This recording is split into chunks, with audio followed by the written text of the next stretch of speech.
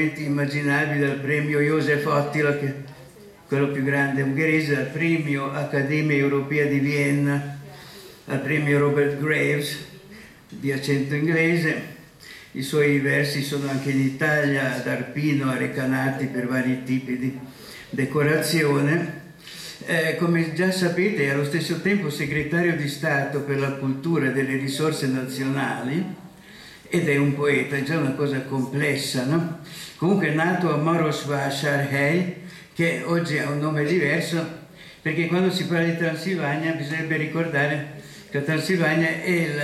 il paese d'origine dell'Ungheria nell'Ottocento d.C., poi per vari eventi storici è stata attribuita alla Romania. E, e qui nacquero poeti come Odi Endre, più grande poeta ungherese forse, uno dei più grandi, Bartok Béla, Ligeti György, cioè la grande cultura ungherese nasce in Transilvania. La sua vita è leggendaria e lo segnala come studente universitario a Kolozsvár, che oggi si chiama Cluj, e da redattore delle pagine di cultura di Equinox, un giornale giovanile, e poi nel 76 Igosság del giornale Giustizia della minoranza ungherese. I guai cominciarono quando eh, fu eh, caporedattore di Ellen Pontok,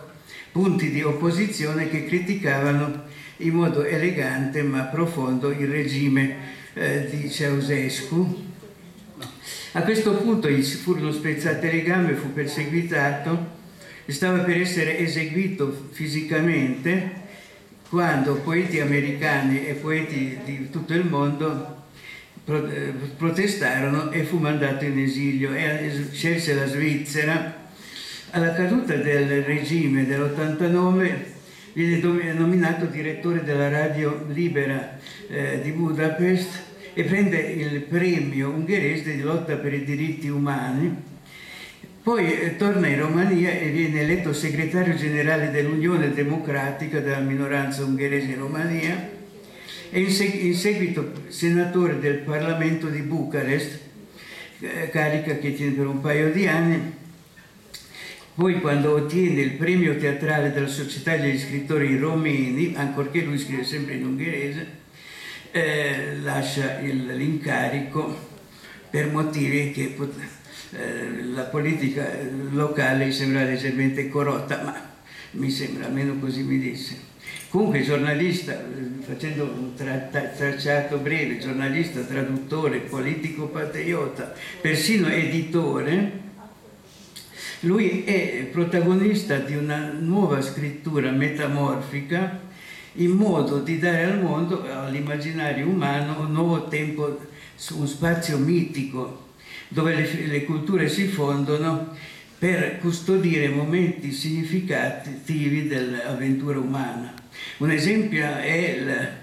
il, suo, la sua opera, il suo libro, ma il suo libro è sempre complicatissimo, non è un libro semplice di versi. Il libro che eh, in italiano suonerebbe L'ospitale, ovvero Simbad a Marienbad del 92, dove vedete come rima Simbad, Marienbad, ma eh, sono mondi così diversi, c'è il mondo del Mille e una notte e il mondo del regista Resnay l'anno scorso Marie Embal del Nouvelle Vague francese, quindi eh, solo, senza entrare nel dettaglio, eh, la sua poesia, la sua scrittura eh, crea delle corrispondenze significanti col mondo storico, ma anche sulle varie forme di espressione artistica